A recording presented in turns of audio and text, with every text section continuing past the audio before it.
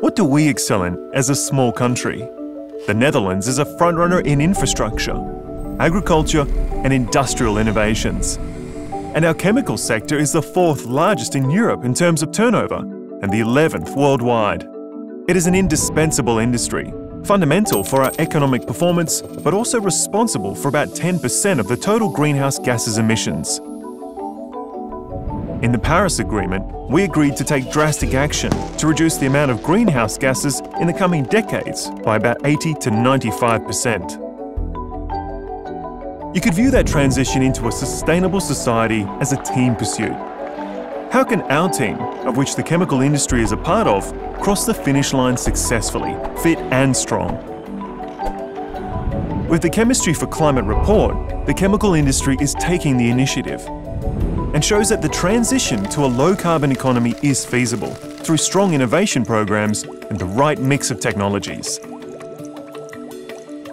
Think of alternative resources, electrification, and the capture and storage of CO2. In a well thought out scenario, these three solutions can make a lasting contribution to a circular economy.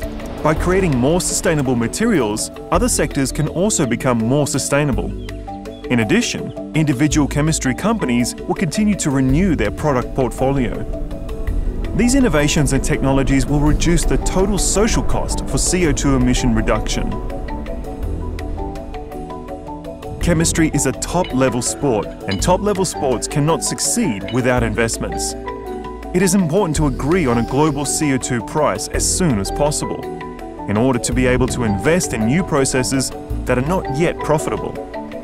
The role of the government is crucial in this respect to enable upscaling in demonstration plants and to maintain the competitiveness of the Dutch chemical industry during this transition.